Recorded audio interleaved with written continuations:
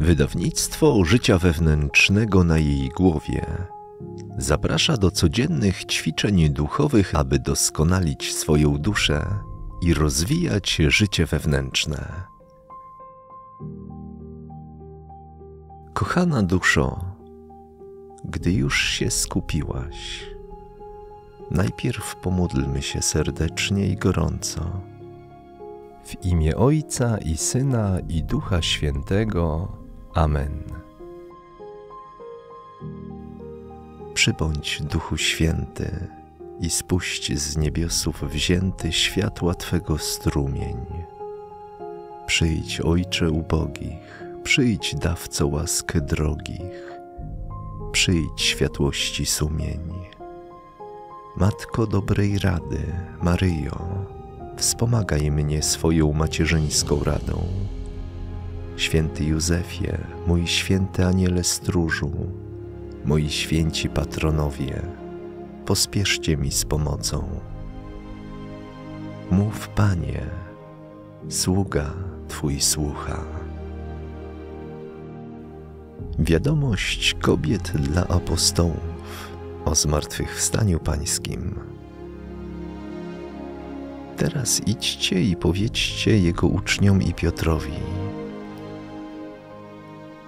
Anioł osobno mówi o Piotrze, na znak osobliwej ku niemu miłości Chrystusowej, przez którą nasz Zbawiciel chciał z niego uczynić swojego namiestnika. Chciał nagrodzić większą miłość Jego i pocieszyć go we łzach Jego pokuty. Błogosławmy Panu za to Jego osobliwe miłosierdzie i połóżmy w nim niezachwianą nadzieję, chociażby najcięższe grzechy nas przygniotły. Lecz te słowa wydały się im tak niedorzeczne, że nie uwierzyli. Chociaż oznajmiały to samo, co im powiedział Chrystus. Nie pamiętali więc o słowach Chrystusowych albo nie dowierzali Jego przepowiedni.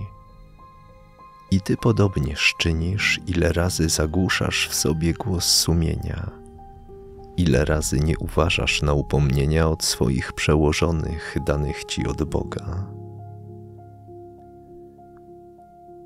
Pobiegła więc Maria Magdalena i przybyła do Szymona Piotra oraz do innego ucznia, którego Jezus kochał, i oznajmiła im: Zabrano pana z grobu i nie wiemy, gdzie go złożono. Anioł nie rzekł, że zabrano pana, lecz że powstał. Gwałtowna miłość lub boleść nie dała jej dosłyszeć i zrozumieć głosu anioła.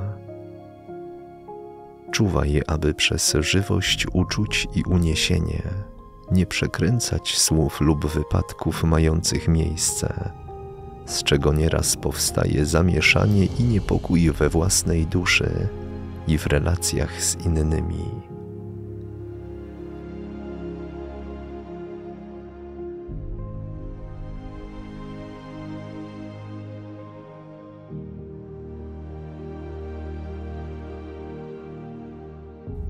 Boże w Trójcy Świętej Jedyny, teraz znów przemówiłeś do mnie.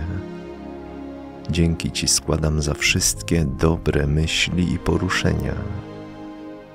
Jak dałeś mi pragnienie, tak daj też wykonanie.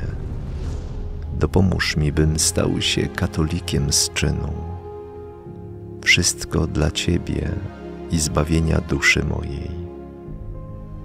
Jezusie, Maryjo, Józefie Święty, oświecajcie nas, dopomagajcie nam, ratujcie nas. Amen.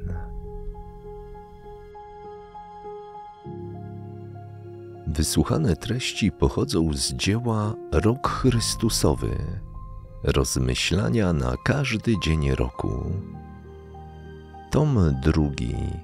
Od popielca do zielonych świątek.